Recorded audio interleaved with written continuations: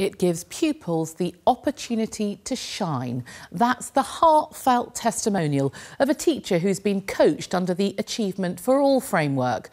From its base in Berkshire, this educational charity sets out to transform the lives of vulnerable children, young people and their families, including those with special educational needs and disabilities.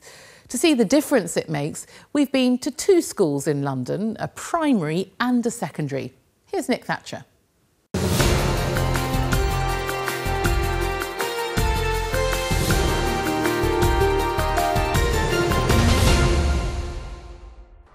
They have a motto at Carlton Primary School if you believe, you can achieve.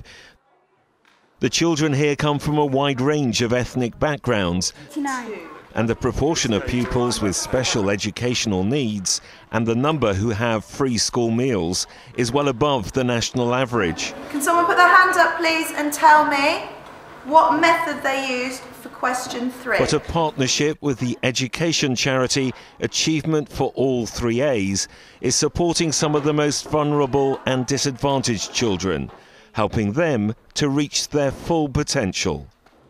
Our vision is that every child can succeed. And underpinning that vision, we have the three A's. So, in terms of aspiration, it's the can do that teachers, parents, leaders, wider professionals, and ultimately the pupils believe they can learn, they can succeed.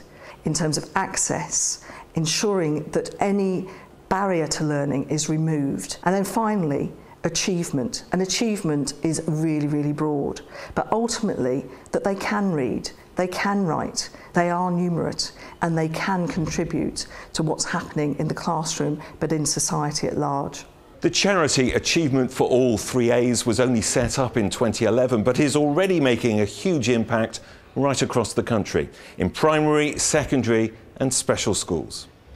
Its framework is based on a holistic whole school approach, but one that can be tailored to each school's individual needs.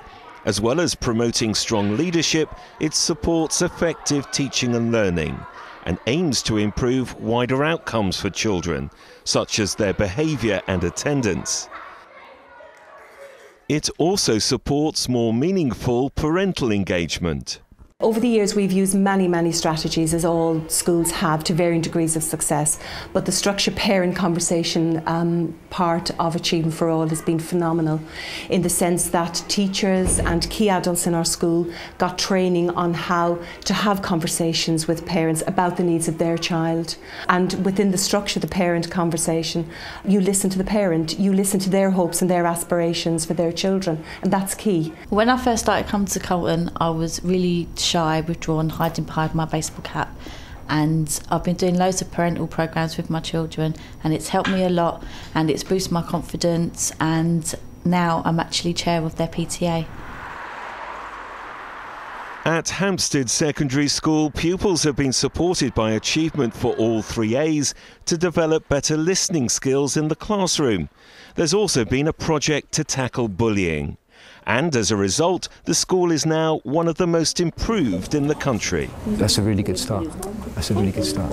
What it's done is to put a very clear message out there that every single student at Hampstead School, regardless of prior attainment, can and will achieve. And that is underpinned by a very strong moral purpose, but that can be deemed so much pious aspiration. And what it's done for us is to provide a mechanism and a strategy that can turn that into a very tangible and measurable outcome. Uh, and the ethos then spreads throughout the school.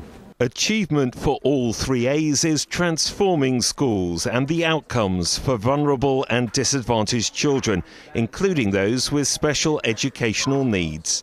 Raising standards, improving results, and boosting aspiration, access, and achievement.